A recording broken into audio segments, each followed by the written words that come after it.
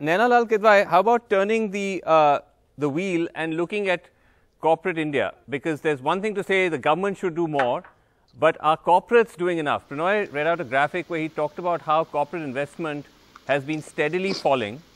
And the government could turn around and say, look, we've lowered corporate tax to historic uh, depths. We've pumped in so much liquidity into the banking system to make loans easier, cheaper. But corporates are still not investing. They're, they're turning profits, but they're doing that by either laying off people or through, through salary cuts. Well, corporates are in the business of making money. And if the demand isn't there, the investment is not going to follow, right?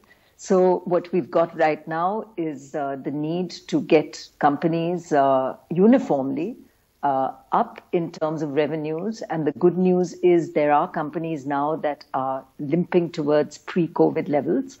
Um, most of them are in sectors which don't require heavy investment as yet. It's been the FMCG sector, the pharma sector is probably even, uh, uh, you know, in many cases uh, above uh, the pre-COVID levels. Mm. the sectors that the heavy industry sectors are only now beginning to pick up: steel, cement. Uh, we we're seeing the benefit of some of the investment demand coming through, and therefore investment following in these sectors. And I think therefore the investment will follow.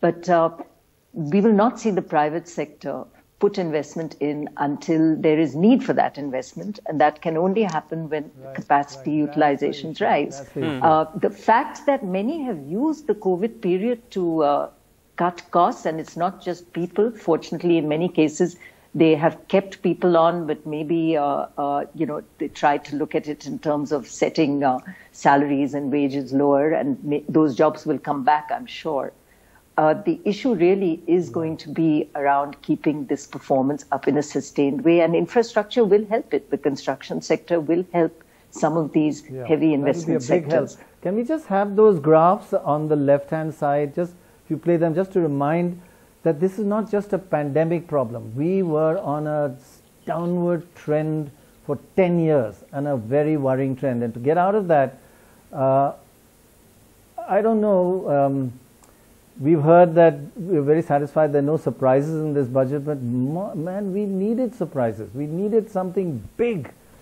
We are in a terrible crisis. And, uh, you know, that, that is a factor, that, you know, industrial investment plummeting, and I won't go through all that again. Um, but uh, it's just, it is an underlying problem, right, Naina?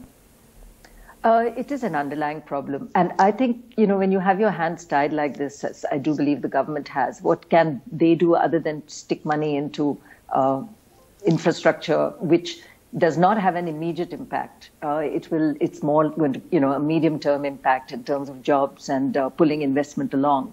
But I do think simultaneously, uh, the money that is going into programs like the Jal Jeevan Mission and Swachh Bharat, and there the government seems to have done quite well historically in terms of implementation. That machinery is still pumping away.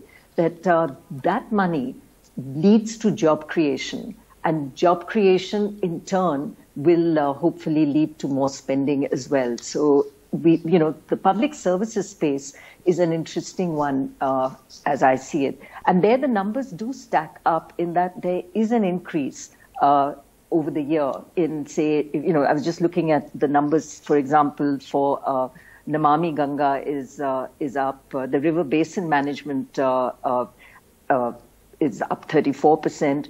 The big one there, you know, all the that's fine. Uh, ministry, yeah. Naina Lal, Naina Lal, yeah. all that's fine. But people globally look at these macro figures and yeah. our rating is triple B minus and we are complaining nobody understands us but that's not what I mean the reality is people don't trust our figures so they look at these disaggregated figures and say look maybe your GDP you know we don't trust it so we have a lot of work to do we need to understand things are not just uh, marketing and that is all good we have to look at reality and it is a very, very serious position.